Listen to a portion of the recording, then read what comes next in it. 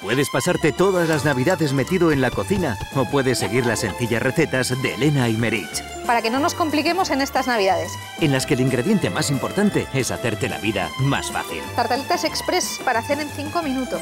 Estas fiestas precocina con sabor casero, platos preparados y listos en tan poco tiempo.